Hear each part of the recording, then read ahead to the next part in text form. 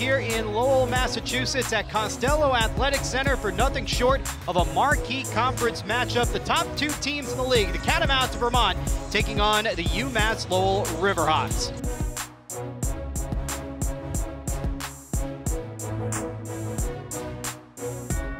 White, and we are underway. Two unbeaten.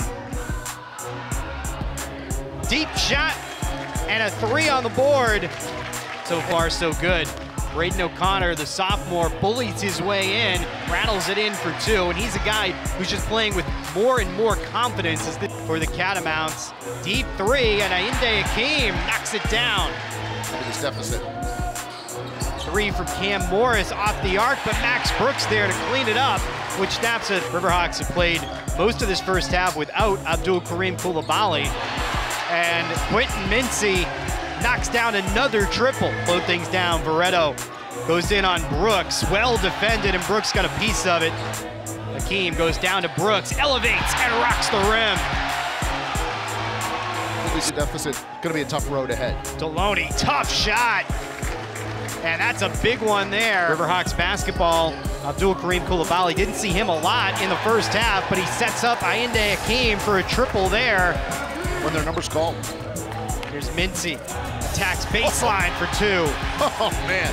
That is isolation NBA. I, but at the same time, you're like, why? Yeah. Do so well in that building. Cam Morris with a beautiful step through and finish. How if indeed you don't score. And it goes to Max Brooks. Elevates with the left and ties it, but a lot of time left.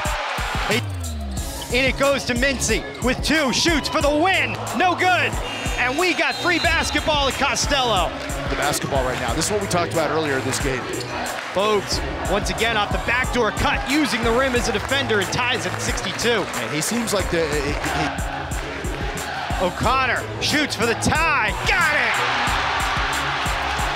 Wow. Step Get back. a good shot. Same they go action. backdoor again. One more pass. Long He's been quiet tonight. Pull down the rebound, and that'll do it. Vermont survives a big scare, but extends its conference winning streak, the longest in the nation, hits 20 games.